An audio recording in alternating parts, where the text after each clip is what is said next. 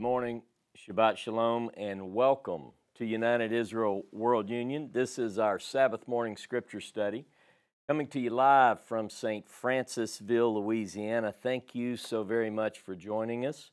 Um, I wanted to say that for the next two weeks, this coming Saturday and the following, February 4th, February 11th, I, along with uh, several others, including the Buntons, the Tylers, and a friend, uh, Ron, will be in Israel and Jordan. I'm giving my lecture at the Albright Institute, and we've scheduled an exciting adventure and expedition, so I won't be here. But uh, have no fear, because I leave you not comfortless. I have asked, and he has accepted Dr. James Tabor will, teaching, uh, will be teaching for me for two consecutive weeks, um, and I'll post an announcement that describes exactly what he gives me in terms of uh, uh, what he intends to do for those next two weeks. I know you're going to enjoy it. It's going to be wonderful for you. So uh, I leave you in good hands, and I would appreciate prayers for our expedition. We'll keep you posted along the way. So, again, good morning. We are currently in an ongoing series. Uh, we're in class 10 of the world and words of the prophet Jeremiah. I want to pick up today um, after the death of Josiah. So, I'm going to be dealing with the biblical historical accounts, the aftermath, if you will, of Josiah's death according to the biblical writers. Now, you will recall that according to the historical sources in our Bible, uh, the book of Kings, the book of Chronicles, what we get when we read those historical accounts is that Josiah ben Ammon, Yoshiahu ben Ammon, Josiah the son of Ammon, reigns for 31 years. And both books, the book of Kings and Chronicles, both cover his reign, if you will, his life, his reign, but they do it, both accounts, even though they vary in some detail, they both basically cover three points of Josiah's life. First of all, we get in both accounts his birth uh, and his ascension to the throne at eight years old. So we get that in both Kings and Chronicles. We also get, and then, and then both accounts cover next pretty thoroughly, a great revival, a reform that takes place in the 18th year of his reign. Now that's 622 BCE. So we have a gap there. Now, Chronicles fills in a little bit of that as you've learned from previous classes, uh, but, uh, but we get uh, just basically the birth, his ascension to the throne. The next major point covered by both authors, both books, is uh, this great reform, this revival in 622 BCE. And then both accounts, other details fall in the middle, some vary, but then the other major account covered by both of our sources is the death of Josiah at the hands of Necho, the king of Egypt. So they both cover those three events. Now, if we want to fill in some of the gap, we have two other biblical books, two other sources to pull from. So we're in essence, we're looking at Kings and Chronicles, but we're also looking at two prophetical books, the books of Jeremiah and Zephaniah. Both of these books are attributable to, they fit in chronologically according to their own uh, introductory paragraph. They both fit into the days of Josiah, at least in part. Um, and we're going to talk about that. Now, these were the two prophets who operated at the time. Now, I'm just giving a little bit of background to launch us into the next phase of our study, so bear with me. On the revival that's reported in both Kings and Chronicles with varying details, uh, Jeremiah and Zephaniah, uh, as I've pointed out, seem not to be distracted by word of this great revival that's going on. They seem to not know that there's a revival going on, if you will. All right? It, in fact, it's not even mentioned in Jeremiah or by Zephaniah. They have no uh, passage which clearly indicates that a reformation, that a turning to God takes place. You'll recall that in the book of Chronicles, it goes into great detail to describe uh, how all the people signed up for the covenant and they recovenanted at that point, and it even goes so far as to tell us that during all the days of Josiah, everybody did what was right. There was everybody. Now, I understand some people say, well, you know, that's a little bit of an exaggeration uh, when they say all. It doesn't mean that every single person. But the bottom line is, according to Jeremiah and Zephaniah, they don't seem to know anything about it. In fact, Jeremiah and Zephaniah are quite critical of the behavior of the people during this period. Now, there's one little piece that both Jeremiah and Zephaniah do mention that might fit might fit with this great reformation.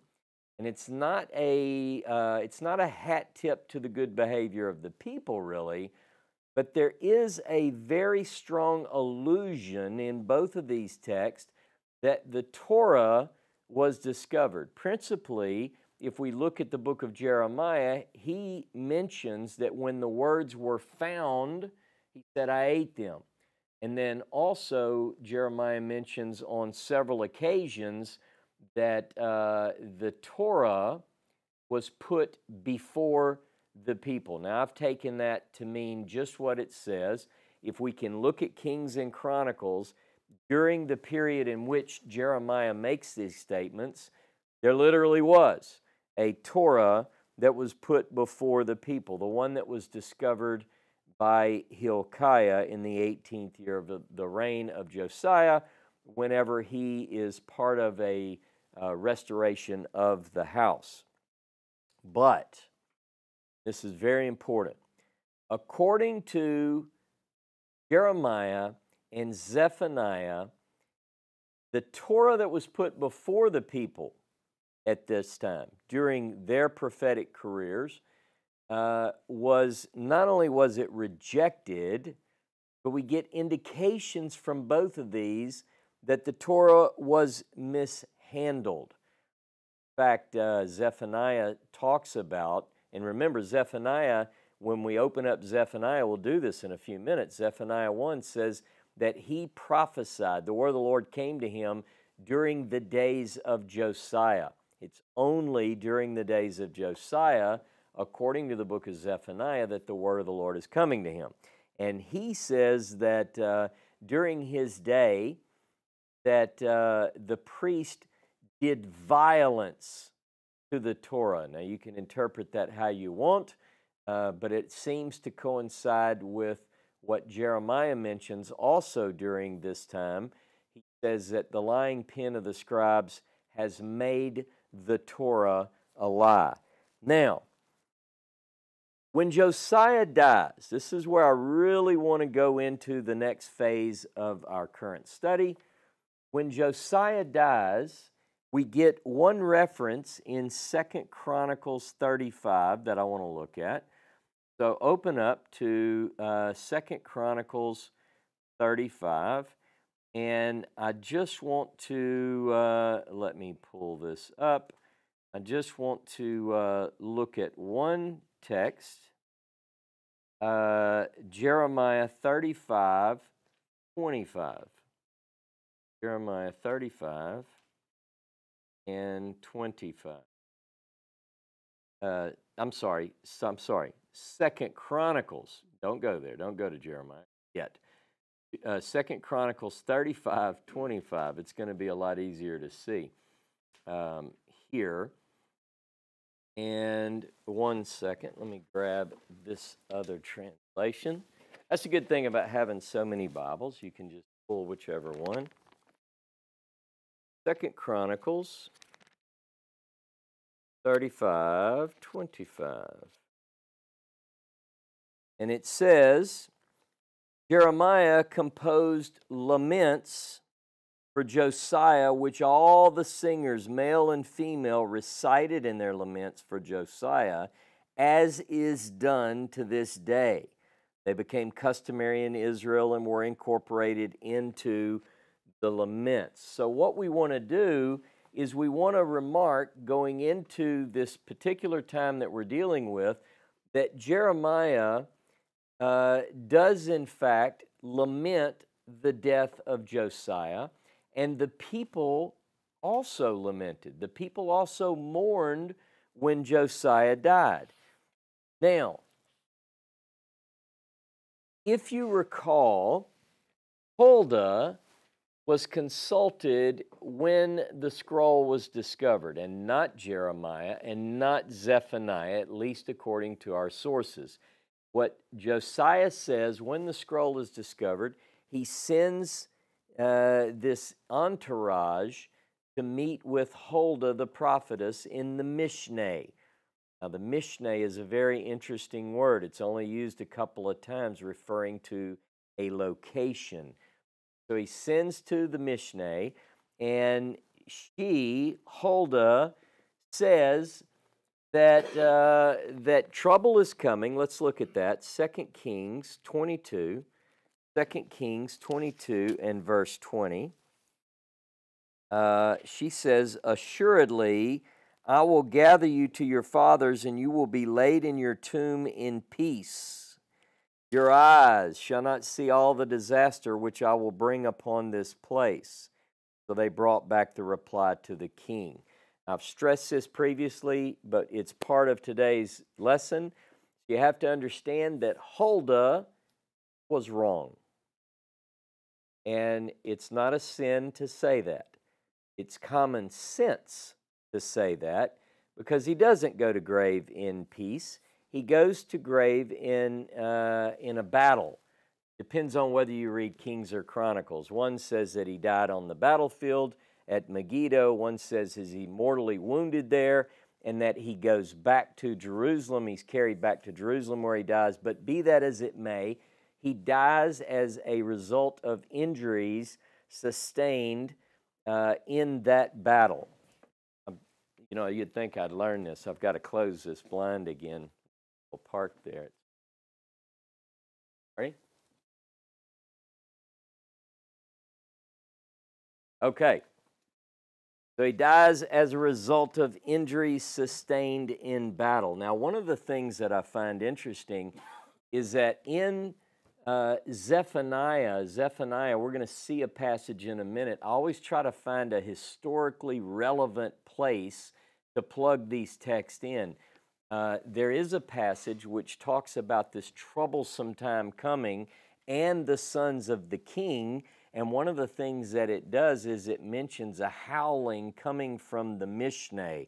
I couldn't help but think as I studied out for today's class if that howling uh, was not Huldah when she finds out that Josiah does not go to his grave in peace. Now, she's half right. What do I mean by she's half right? She's half right, meaning that his eyes did not see all the trouble that was coming, the total destruction. He dies in a battle before the destruction of Jerusalem, right? So, now, there is no mention of Jeremiah or Zephaniah ever meeting with Josiah. There's no mention of it. We pointed this out in previous classes as well. And with the death of Josiah, Zephaniah's prophecies come to a close. Go with me this morning to Zephaniah. I want you to look at Zephaniah chapter 1, verse 1. Zephaniah 1, verse 1. And it says, the word of the Lord that came to Zephaniah, son of Cushi, son of Gedaliah, son of Amariah, son of Hezekiah, during the reign of King Josiah, son of Ammon of Judah. So when Josiah dies, Zephaniah's prophetic career is over, at least according to the introduction to the book called by his name. Most of the prophecy contained in Zephaniah is being very critical of the people of the day.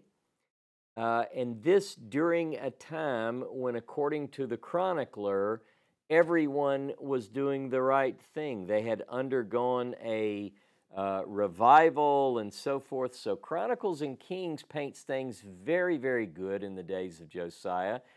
Zephaniah prophesying during the time of Josiah. And if you read it, you do not, do not confirm the Chronicles, uh, the writing in Chronicles. According to Zephaniah, her priest profane or violate the Torah or do violence or cause violence to come to the Torah. To, uh, the Torah. Now, in fairness, Zephaniah, towards the end of his book, does uh, prophesy of times that are coming which are very good. You can read chapter 3 of Zephaniah, and it's very uplifting. It's very good news. But if you understand what you're looking at, and if you read it closely, you'll see that that hope of a better day, not that day. It is far into the future that he's talking about. But in the shorter term, Zephaniah saw trouble in the immediate time after Josiah. I want you to look at Zephaniah chapter 1 and verse 7. Zephaniah 1 7. Be silent before my Lord God, for the day of the Lord is approaching. The Lord has prepared a sacrificial feast. He's bidden his guests purify themselves. On the day of the Lord's sacrifice, I will punish the officials and the king's sons, all who don a foreign vestment.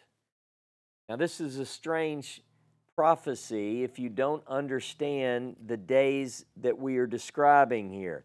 First of all, he is describing from the days of Josiah when the word of the Lord came to him.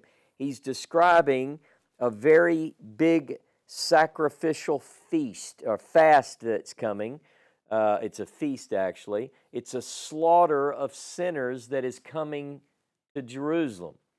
And, and what he's suggesting is that the officials will be slaughtered. Not only will they be slain, but if you notice, he says he's going to punish the king's sons. If we're talking about Zephaniah and we understand contextually where we're at, that can only refer to Josiah's sons because the king that Zephaniah is prophesying during his reign is Josiah. Now, what is this about wearing the clothing or foreign clothing? Here's what's going on at the time Josiah sides with Babylon and Egypt is siding with Assyria. So you have a reliance. It's like the people of the region are making a bet, they're wagering on who's going to come out on top. Josiah bids uh, uh, with backing of uh, Babylon, and that is the enemy of Necho. So this brings about the death of Josiah. Now, I believe based on the context that those who wear the clothing of foreigners are those that are under the influence of these other groups. They place their reliance on Babylon or Assyria or Egypt. And, and that is what Jeremiah and uh, Zephaniah warn against. Now, despite hearing the word of the Lord for 19 years of Josiah's reign, we can put very little of the book of Jeremiah and absolutely attribute very little of Jeremiah's words to the time of Josiah for certain. If you look at Jeremiah chapter 3, Jeremiah chapter 3 and verse 6, covered this more extensively previously, but just to have it for today. Uh, the Lord said to me in the days of King Josiah, that prophecy, beginning in Jeremiah chapter 3, verse 6, clearly takes place in the days of Josiah. And we know that he's called in the 13th year, so previous to this, Jeremiah chapter 1 and 2 very likely can be attributed to the days of Josiah. But if you read chapter 3, I would associate chapter 3 with the time of Josiah. Uh, even though we have breaks in the text, white spaces, which give new prophecies. Uh, but they seem to be connected with Jeremiah 3 6 through that chapter. When you get to chapter 4, it's a call to return, very easily part of this same period of time uh, as you work your way through. You could even say that chapter 4 and 5 belong to this period of time. But we don't know for sure, is my point. What we know is what we know. When we read a certain passage and it says, uh, in the days of King Josiah or in the days of Jehoiakim, then we can definitely say that the writer wants us to put that chronologically in that period. But what I want to get to is this the bulk of Jeremiah is not covering the period of Josiah. Even though he, he has 19 years with Josiah as the king, the word of the Lord's coming to him for 19 years, the bulk of Jeremiah takes place after the days of Josiah. If you remember in Jeremiah 25, the book of Jeremiah is not written for the first time until after Josiah is dead.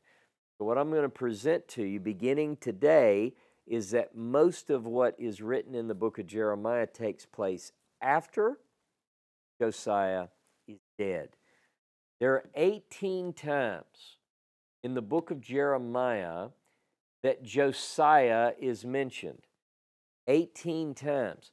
But of that 18 times, 13 are connected to son of. So 13 of the 18 say so and so, son of Josiah. So only a very small part of Jeremiah deals with the period that we've been covering up to this point. But it was good to build a good, strong uh, basis for what was, uh, what was being presented. Now, so what we might suggest, and I will suggest, is that most of Jeremiah's words, as we've received them, as they've come to us in the Masoretic text uh, and even in the Septuagint, deal with days beyond Josiah. In fact, most of what we're going to learn about Jeremiah and the world and words of Jeremiah uh, have to do with the sons of Josiah. Go with me this morning to First Chronicles.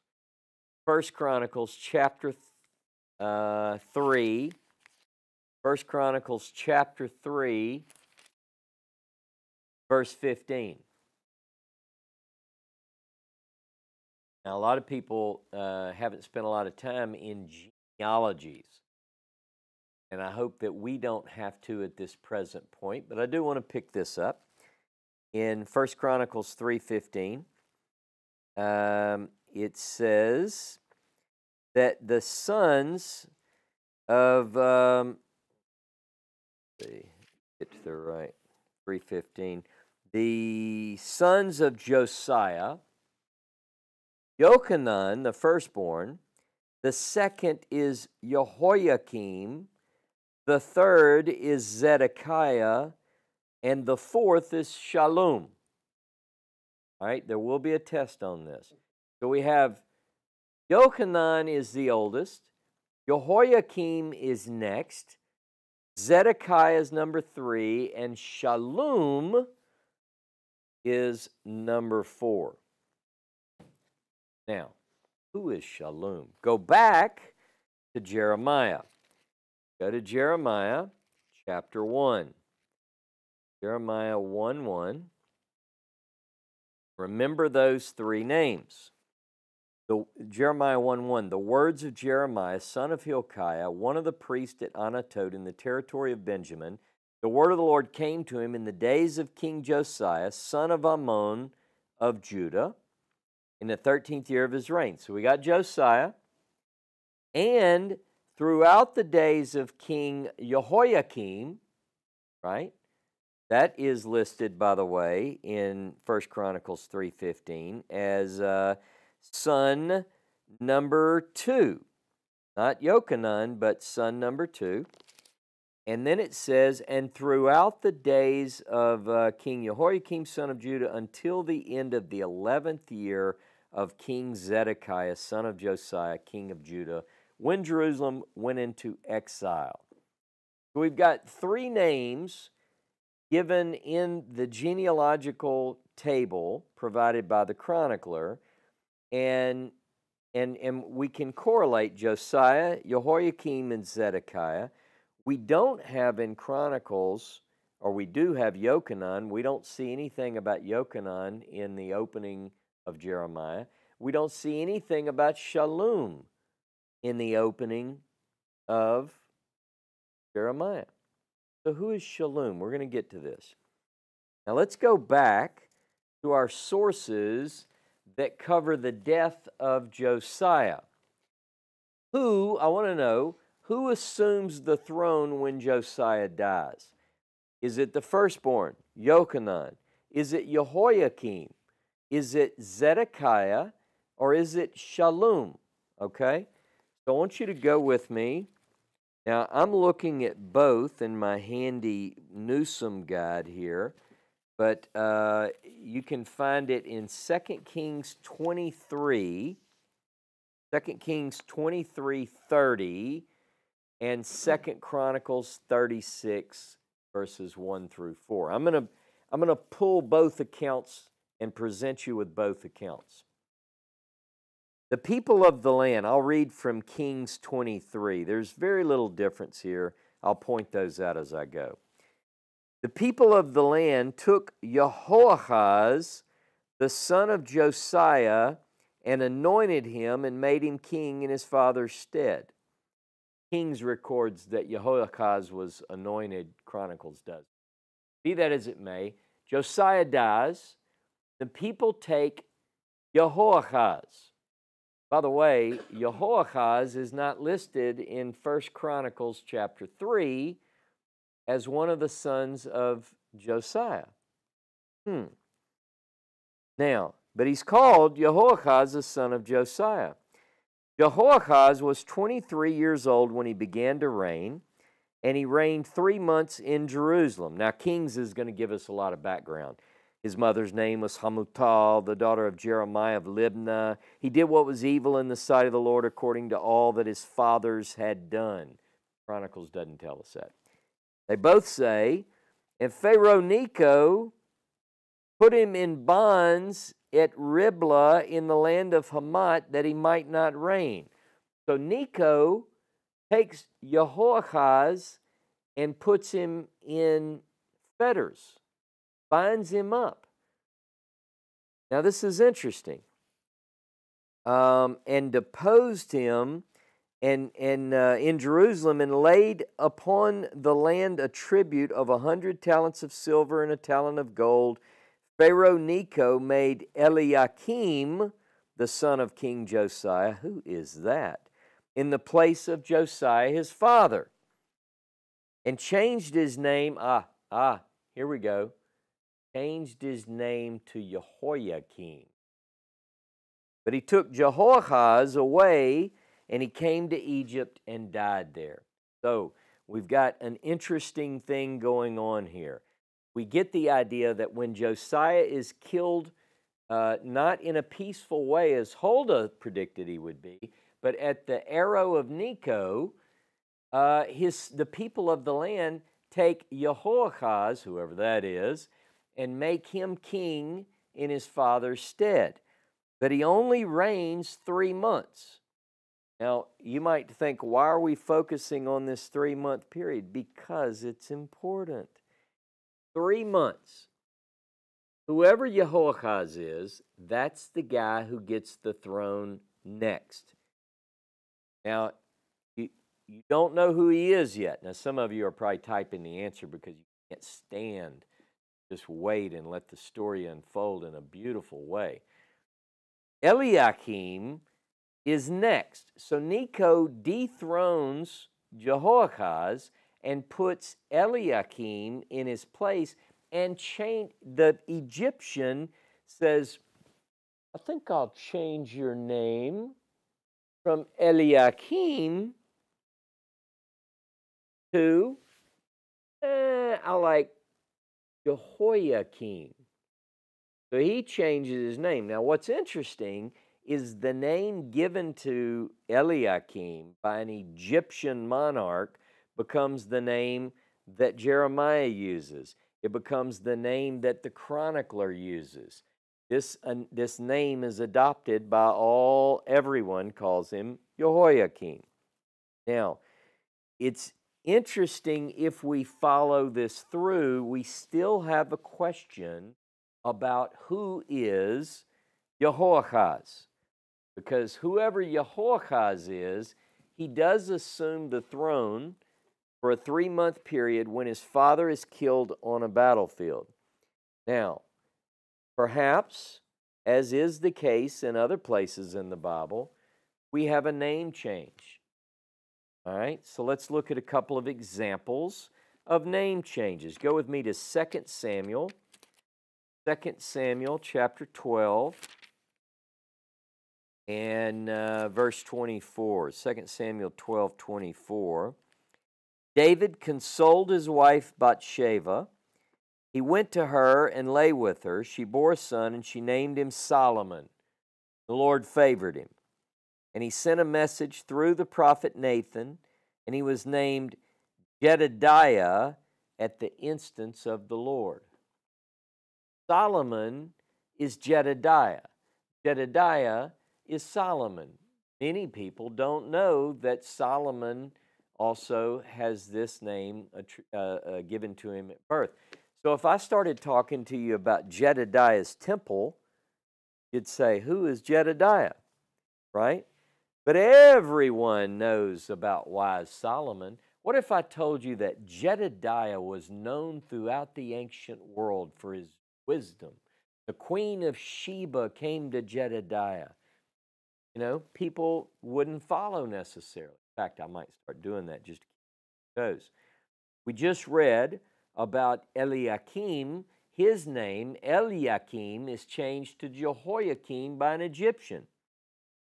Jehoiachin, keeping these straight, C H I N, Jehoiachin is also known by Jeremiah as Coniah and Jeconiah. See, you got these different names. You have to keep it straight. Zedekiah, look with me at 2 Kings, 2 Kings 24. 2 Kings 24 and verse 17. And let's see what we have here. The king of Babylon, chapter uh, 24, 2 Kings, verse 17. The king of Babylon appointed Mattaniah Jehoiachin's uncle king in his place and changed his name to Zedekiah. Now we're going to get to this in another class because this this deserves some unpacking. Because First Chronicles 3:15 lists Zedekiah as one of Josiah's sons, but this text uh, says that Jehoiachin's uncle um, is Matanya, who's later called Zedekiah. Getting this? Need to take notes, people, I'm telling you. It's easy just to, to do like this and say, there's no problems. It's all perfectly fine. Ross has gone too far. Okay, in Kings and Chronicles, though, we read that it's Jehoahaz who reigned after Josiah. He reigns for three months, was dethroned by Necho, and replaced with a son of Josiah named Eliakim. And we call that, uh, we pronounce that Jehoiakim or Jehoiakim in English. This is Necho's doing. Now, most resources that I've looked at, and it makes sense, and you get some of this from the text. You, you, why, why is it that Jehoahaz is dethroned? It's very likely that he doesn't support the Egyptians. See, perhaps like Josiah, his father, Necho must look into the situation. Maybe he watches the news and he says, You know, I see this boy's going to be problems. Jehoahaz is following his old man's footsteps. He supports Babylon, and I got to get him out of there. Now, the other thing it indicates is that there's a strong Egyptian presence in the land of Canaan at that time, in the land of Israel, in the land of Judah. And, and it, Necho is able to dethrone, uh, cause a coup basically, and get Jehoahaz out and put, some people believe, quite possibly, that Jehoiakim, Eliakim, uh, is a puppet. He's more sympathetic to the Egyptians, right? Now, we know from uh, we know from Jeremiah that the word of the Lord came to him in the days of Josiah. Josiah is dead now. So, does the word of the Lord come to him during these three months? Because if you read Jeremiah 1 1, it says, The word of the Lord came to me days of Josiah from the 13th year of his reign, and through the days of Jehoiakim, and until the 11th year of Zedekiah. So it seems to be that there's a break in the word of the Lord coming to Jeremiah, let's say at least of three months. Follow what I'm saying? Because otherwise it would say, the word of the Lord came to him in the days of Josiah and during the days of Jehoahaz, though they be small, and in the days of Jehoiakim and in the days of Edith. See? But it doesn't say that. Eliakim, Jehoiakim was put on the throne after the three month reign of Jehoahaz. It's not this three months, nor Jehoahaz is mentioned in Jeremiah 1 1, nor is Jehoahaz listed in the genealogy of First Chronicles chapter 3. Now, what are we going to do with all this?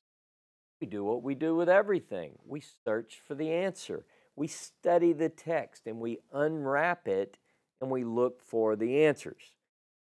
Question becomes Does Jeremiah then shed any light on this particular subject? And Jeremiah perhaps tell us who is Jehoahaz in very clear language. The first thing you need to know is Jeremiah does not mention by name Jehoahaz. So we might have to look for another name. I want you to go with me to Jeremiah chapter 21, please. Now, buckle your seatbelts, boys and girls. What I want to show again is that Jeremiah is not even close to being in order. I described it before as if the scraps and words and prophecies of Jeremiah were stacked neatly in a shoebox.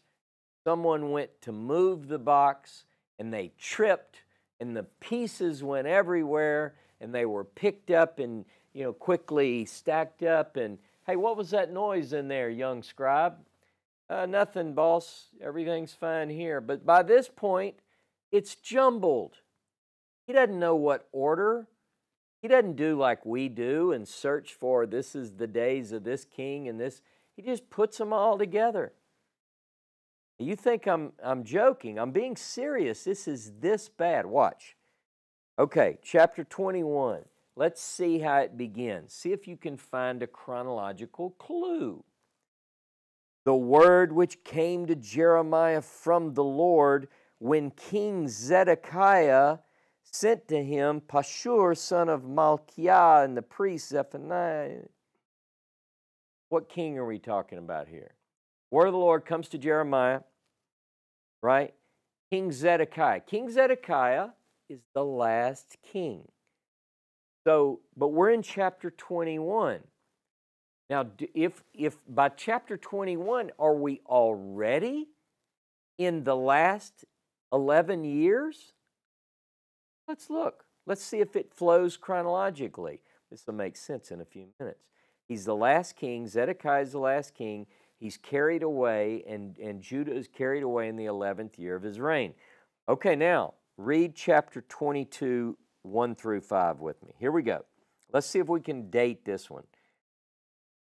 Thus said the Lord Go down to the palace of the king of Judah, where you shall utter this word. Say, Hear the word of the Lord, O king of Judah, you who sit on the throne of David and your courtiers and your subjects who enter these gates. Thus said the Lord Do what's just and right. Rescue from the defrauder him who is robbed. Don't wrong the stranger, the fatherless, the widow, commit no lawless acts. And do not shed blood of the innocent in this place. For if you'll fulfill this command, then through the gates of this place shall enter kings of David's line, who sit upon his throne, riding horse drawn chariots with their courtiers and their subjects. But if you don't heed these commands, I swear by myself, declares the Lord, this palace shall become a ruin. First, I'm going to ask you this. You think that they, they did what God had asked through the prophet, or do you think they didn't? You ever been to Israel? They got an operating palace there with kings of Judah running in and out? No, they don't. So obviously, they made the wrong choice. The question is to whom is this addressed? Is it, could it be Josiah? I don't believe so. Could it be Jehoahaz? Doesn't say. Could it be Jehoiakim? Could it be uh, Jehoiachin? Could it be Zedekiah? Does it really matter? Everything, ladies and gentlemen. Have to figure this out.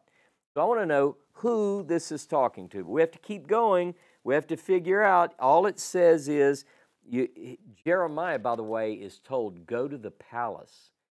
So now I want to tell you that today's class we enter into a new world, Jeremiah.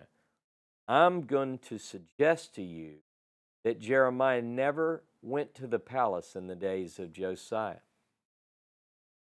Whoever this is, Jeremiah walks into the court of the different world. Things have changed. Things are going to intensify. We'll see that. But we don't know what king, just a king, but it's a, uh, discussing the kings of Judah. Now, um, in verse 6, it says, uh, by the way, the white space, this section of the text goes down at verse 5, it ends, so it's uh, one thought is complete. Verse 6 begins after the white space. For thus said the Lord concerning the royal palace of Judah. So it's sort of a generic, but who's he talking to? Okay? Now look down at verse 18, chapter 22, verse 18. Assuredly, Thus said the Lord concerning Jehoiakim, son of Josiah, king of Judah. Jehoiakim, now you remember, Jehoiakim comes before Zedekiah. Chapter 21 deals with Zedekiah. So it's like we're going in time. We're in the days of Jehoiakim in verse 18, or it's referring to that period, but you have to go forward in time and back in chapters to get to Zedekiah. Right? That's not it. Let's look at uh, verse 24. As I live, declares the Lord, if you, O King Coniah, son of Jehoiakim of Judah, were a signet ring on my right hand, I would tear you off even from there and deliver you. Okay. Chapter 22 begins King of Judah. Jeremiah is in the palace talking to someone not named, not Josiah. Who is it? Because we have to get the timing of these prophecies in order to understand what they mean in their setting. So I'm going to tell you that it is not Josiah. That's not who it is. So now I want you to go back to verse 11 of chapter 22. Jeremiah 22 11. For thus said the Lord concerning Shallum, son of King Josiah of Judah. Wait a minute. Shallum, I know that name. First Chronicles chapter 3, verse 15 says that Josiah has the sons Yochanan, Jehoiakim, Zedekiah, and Shallum. Ah, for thus says the Lord concerning Shallum, son of King Josiah of Judah, who succeeded his father Josiah as king but who has gone forth from this place, he shall never come back. He shall die in the place to which he was exiled. He shall not see this land again. Okay. Shallum, according to Jeremiah, succeeds Josiah when Josiah dies. So Josiah dies on the battlefield or in Jerusalem, whichever account is more accurate uh, from wounds sustained from Necho for siding with Babylon. He gets the arrow. He doesn't die peaceful as Huldah thought he would and told him he would. Uh, but he dies, and as soon as he dies, the people take Shallum, the son of Josiah, number four in line according to Chronicles 3.15, and say, you, Shallum, uh, are the king. That's Jeremiah. He's confirmed again in Chronicles as the fourth son. Now, if Kings and Chronicles, they give us another name. Kings and Chronicles tell us that Jehoahaz becomes king after Josiah dies. Make sure you, you got this in your notes. The death of Josiah the people of the land took Jehoahaz, the son of Josiah, and anointed him, says the writer of Kings, but not Chronicles, and made him king in his father's stead. He's dead. And people say, Jehoahaz, you're in, son. Now, so if uh, the writer of Kings and Chronicles tells us that Jehoahaz becomes king, and Jeremiah says Shallum reigned Tachat instead of his father Yoshiahu, then Shallum and Jehoahaz are the same. All right?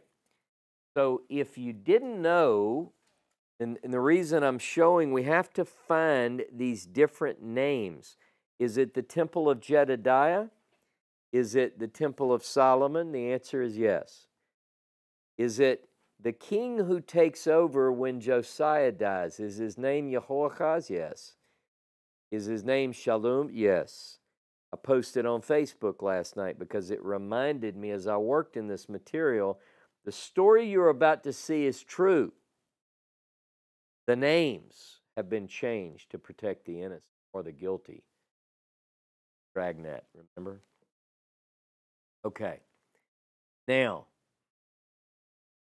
if you look at Jeremiah chapter 1 1, it says that the word of the Lord came to Jeremiah in the days of Josiah from the 13th year of his reign through the days of Jehoiakim and through the 11th year of Zedekiah when the people are carried away captive to Babylon. You recognize that there's a gap the gap, according to the introduction in Jeremiah chapter 1, verse 1, is that the word of the Lord does not come to him in the days of Jehoahaz or Shallum. And you might say, well, you're being too picky. I'm not. Because I'm admitting that Jehoiachin isn't mentioned either, but that's covered because it says the word of the Lord came to Jeremiah during the days of Jehoiakim and until, meaning you go through Jehoiakim, you go through Jehoiachin, you go into Zedekiah. There's a three month gap. What am I talking about and why does it matter? Let's take another closer look because I just read in chapter 22, verse 11, that there's a prophecy that mentions Shallum that's in that three, Shallum is in that three month window. So is that a problem or not?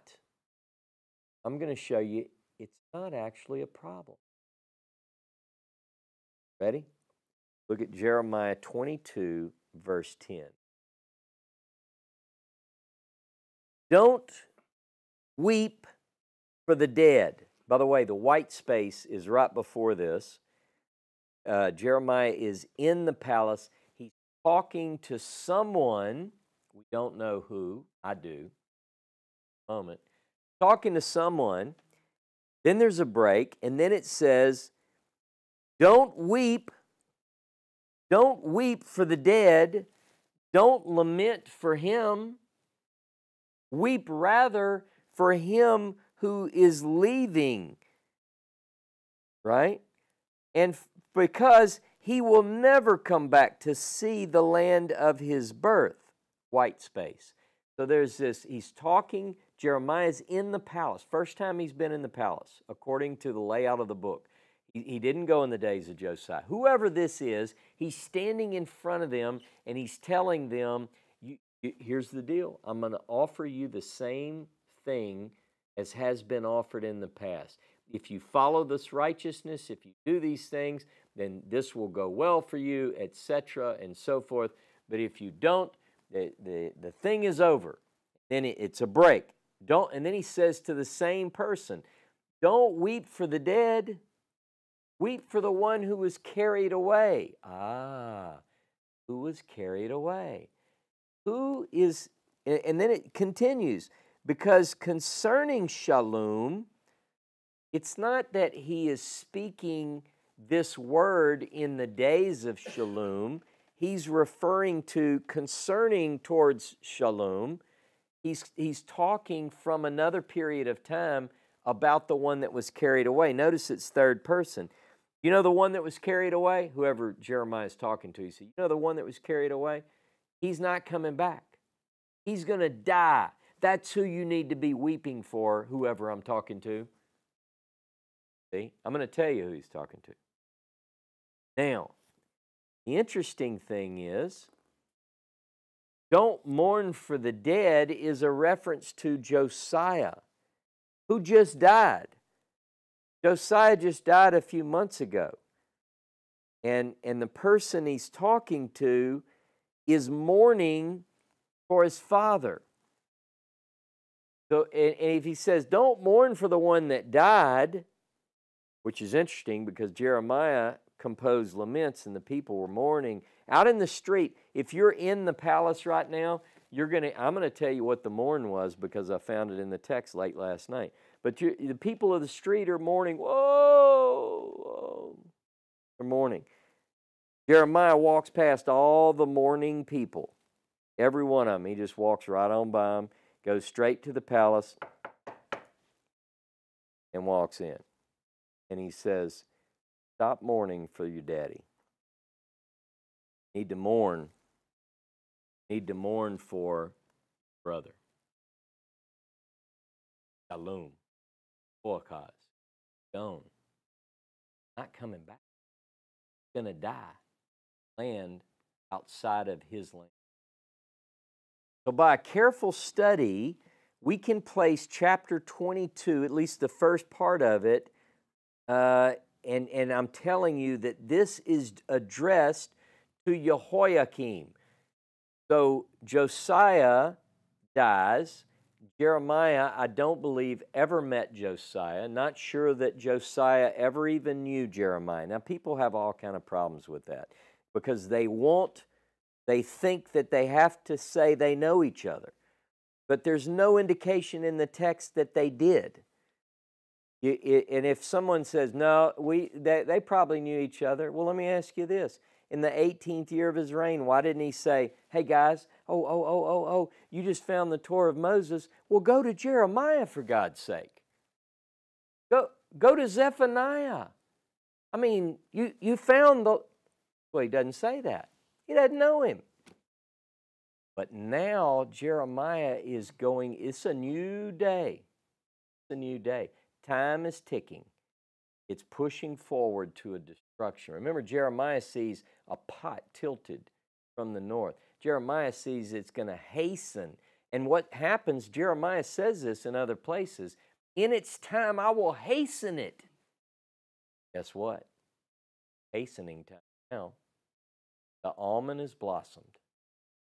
Goes in, tells Jehoiakim, if, Jeremiah 22 1, if, hear the word of the Lord, King of Judah, you who sit on the throne of David, and your courtiers and your subjects who enter these gates, Thus said the Lord, do what's just and right.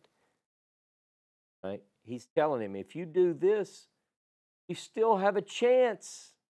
You can do this. Now, he offers the terms of survival to Jehoiakim. Do what's right. Now look at verse 13 of chapter 20. Jeremiah 22 13. ah, he who builds his house with unfairness, his upper chambers with injustice, who makes his fellow man work without pay and does not give him his wages, who thinks, I will build me a vast palace with spacious upper chambers, provided with windows paneled in cedar painted with vermilion. Do you think you are more a king because you compete in cedar? Who is Jeremiah talking to? Talking to Jehoiakim. Listen, your father, he's talking about Josiah. This is a reference to Josiah by Jeremiah. says he knows of him. Watch what he says. Your father ate and drank and dispensed justice and equity. Then all went well with him. He upheld the rights of the poor and needy. All was well. That is truly heeding me, declares the Lord. But your eyes, your mind are only on ill gotten gains, on shedding the blood of the innocent, on committing fraud and violence. White space. For the first time, for the first time, we have a reference from Jeremiah about King Josiah. Remember the chronicler, we said, I, I don't know, I just don't find this. I want you to, I want the classes to build on one another. Uh, in 2 Kings 23, it says that Josiah was the most righteous. He, he sought God with his whole heart and his whole soul according to the Torah that was found. And now, Jeremiah never blinked an eye with all this talk out of the palace about a reform and a revival. Now that he's dead, Jeremiah tells his son, Want to see what godly looks like? Father, that was the right. It's justice and righteousness. See, Jeremiah couldn't be distracted with all the fanfare and the, the temple is open, you know, bring your sheep and goats and everything is fine and the priesthood is restored and the temple of the Lord, the temple of the Lord. The, Jeremiah said, Listen to me, listen to me. None of that matters. This place is going to be destroyed. Get your house in order, King. Talking to Jehoiakim. Everything intensifies from this point forward. Look at verse 18. Assuredly, thus said the Lord concerning Jehoiakim, son of Josiah, king of Judah, they shall not mourn for him. They, uh, they shall not mourn for him Ah, brother, ah, sister, they shall not mourn for him. Ah, Lord, ah, his majesty.